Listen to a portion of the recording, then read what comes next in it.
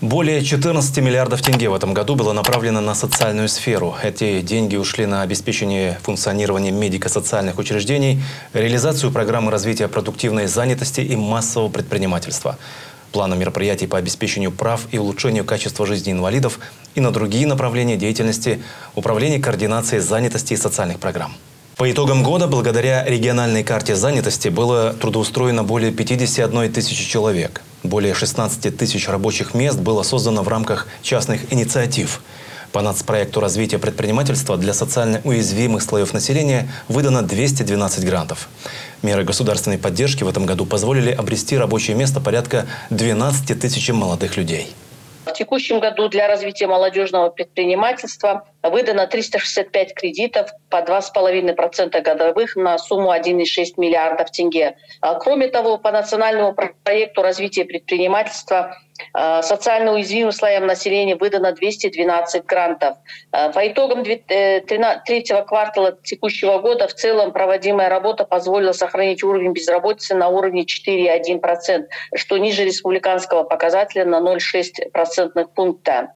Одним из основных механизмов предотвращения коррупции является анализ и мониторинг коррупционных рисков. В 2022 году постановлением главы государства была утверждена концепция разработки антикоррупционной политики на 2022-2026 годы.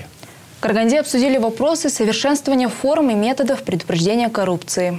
На заседании Совета по этике представитель антикоррупционного ведомства представил пути предотвращения коррупции и ход работы, проводимой в этом направлении. Первый закон о борьбе с коррупцией в стране был принят в 1998 году и с тех пор вступил в силу ряд нормативно-правовых документов. Стоит отметить, что в законе превалировал карательный уклон. При таком подходе главной целью было добиться признания вины, побыстрее завершить расследование и направить дело в суд. При этом не вникая, почему все это происходило. Поэтому мы перешли от борьбы с последствиями к устранению коррупционных рисков. По мере развития стало очевидно, что дальнейший успех во многом зависит от превенции, то есть от работы на упреждении. С учетом правоохранительной практики и опыта стран РСФ, в 2015 году принят новый закон о противодействии коррупции. В новом законе впервые были отражены анализ коррупционных рисков, антикоррупционный мониторинг и формирование соответствующей культуры. В целях эффективной реализации задач, поставленных главой государства перед уполномоченным органом, пересмотрена структура агентства по борьбе с коррупцией. На данный момент обеспечивается взаимодействие трех основных функций – превенция, выявление, расследование. Первой отведена основная роль. Четвертый пакет антикоррупционных реформ вступил в силу с 3 января 2023 года. В данной реформе предусмотрены следующие новшества. Вводится контроль за соответствием расходов и доходов.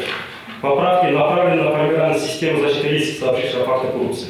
Работодатель должен сам истребовать в отношении кандидата сведения о совершении коррупционных преступлений. Формирование антикоррупционной культуры осуществляется комплексом мер образовательного, информационного и организационного характеров. Большой акцент ставится на антикоррупционное образование со школьной скамьи. В этой связи под координацией агентства проводится честности, справедливости и доверия среди учащихся. Широкая популяризация трудов великих мыслителей является ярким примером воспитания сознательного общества, которое вызывает интерес как среди взрослых, так и молодого поколения. Дарья Чеканина, Зульхарна Есмахаев, Николай Шевелев, Пятый канал.